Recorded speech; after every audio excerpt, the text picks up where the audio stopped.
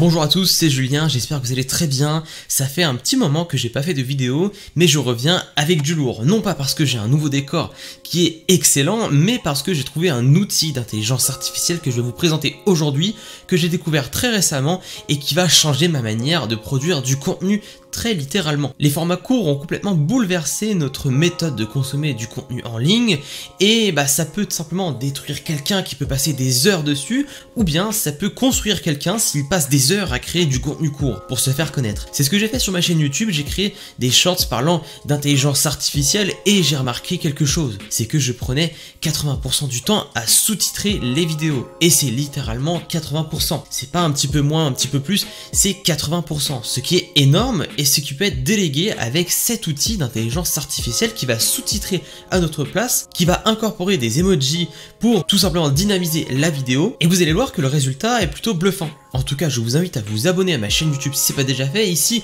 on traite le sujet de l'intelligence artificielle et on essaye de le mettre à profit pour faire des choses en ligne. Je me suis beaucoup intéressé au sujet de l'intelligence artificielle sur le montage vidéo parce que je fais des vidéos depuis maintenant bah, plus de 6 ans et c'est vrai qu'en faisant du montage parfois compliqué et on se dit pourquoi une intelligence artificielle ne pourrait pas tout simplement le faire à notre place. À chaque fois, c'est un schéma répétitif et encore plus quand il s'agit de formats courts qu'on devrait sous-titrer pour garder l'attention des spectateurs qui nous regardent. On voit un changement significatif quand on met des sous-titres et quand on n'en met pas, alors pourquoi se priver? On est donc sur le site sunmagic.co et vous allez voir que c'est assez exceptionnel. On peut voir déjà Yomi Denzel sur la page d'accueil et on comprend très rapidement en fait quoi va servir cet outil.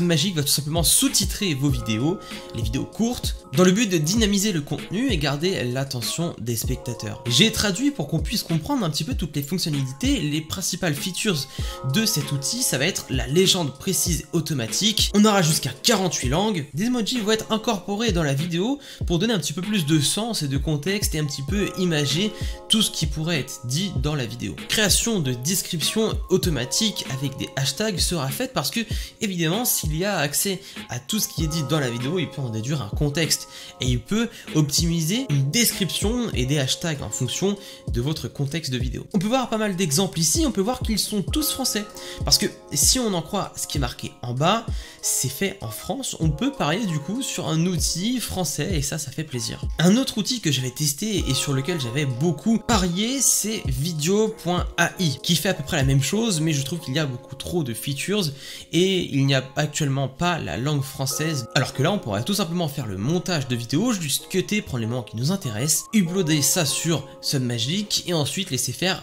tout ça. Pour bien illustrer mes propos, j'ai deux vidéos à ma disposition et on peut voir qu'il n'y a pas de sous-titres. Voilà, il n'y a rien, il n'y a pas de texte, et c'est vrai que ça perd en saveur un petit peu. Et j'ai une deuxième vidéo pour bah, appuyer encore plus le test et voir s'il y a des erreurs, c'est important à prendre en compte. Je balance ma vidéo, télécharger, et on va voir un petit peu ce que ça nous sort. J'avais déjà fait un test en amont, il y a de ça quelques jours, et là c'est en train de euh, se générer. Et on va voir le temps que ça prend. Ok, bah c'est déjà fait. même pas une minute, je pense. Il était 38 quand je dis ça, là il est 39. Bon, écoutez, on va voir tout ça. D'accord. Donc c'est parti, je vais play la vidéo. ChatGPT a accès au web entier et en temps réel grâce à sa nouvelle fonctionnalité, le ChatGPT Web Browsing. On va pouvoir demander à ChatGPT de faire des requêtes en ligne et ça va changer énormément de choses. Alors dans l'ensemble, on a un bon résultat. On a juste quelques petites erreurs et ça, je pense que c'est normal au vu du mot. À chaque fois, c'est sur le mot ChatGPT que ça bug un petit peu. Vous pouvez voir les premières secondes. ChatGPT a accès au web entier. Voilà il a traduit ChatGPT en GPD. Donc on va simplement changer chat GPT et on peut tout changer très facilement. On a une visu d'ensemble sur tout ce qui a été écrit. On peut voir très facilement les erreurs, comme par exemple ici. Hop, et on peut voir que euh, au niveau des erreurs, ça évite quand même pas mal de montage. Donc, ok, il y a quelques petites erreurs, surtout sur les mots qui sont pas très communs. Mais par contre, je préfère 100 fois corriger une vidéo qui a été générée en 1 minute que passer littéralement 30 minutes à sous-titrer une petite vidéo de quelques secondes. Encore une fois, c'est ChatGPT qui bug. il y a pas mal d'emojis qui ont été incorporés.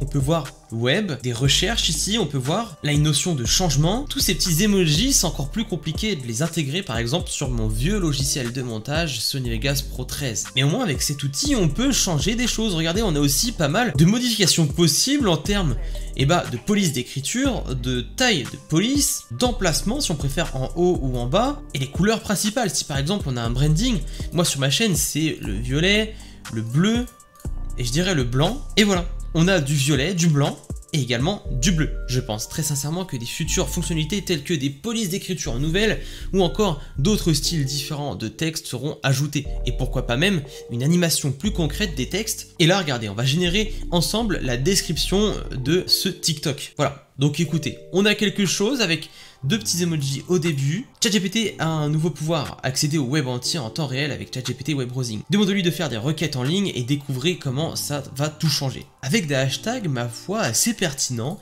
peut-être que lui on pourrait l'enlever par exemple. Il a bien compris le sens de cette vidéo. Et je vais upload un deuxième test avec une vidéo un poil plus longue pour voir les limites de compréhension. Alors j'ai mis à 44, on va voir en combien de temps ça se génère.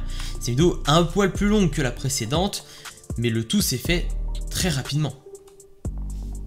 Déjà fait, voilà, donc ça fait même pas une minute. C'est assez exceptionnel, hein. je vous avouerai que euh, ça commence à me faire peur. Alors écoutons cela. Je vais tester avec vous les plugins de ChatGPT. Alors j'avais déjà fait une vidéo à ce sujet en disant qu'il y allait avoir un ajout de plugins et j'attendais beaucoup cette fonctionnalité. J'ai accès à cette fonctionnalité parce que pour avoir accès à ces plugins à l'heure actuelle, et je pense que ça le restera, il faut payer ChatGPT encore une fois, le seul bug que je vois, c'est euh, pour la prononciation de chat GPT, ce qui est totalement normal. Hein.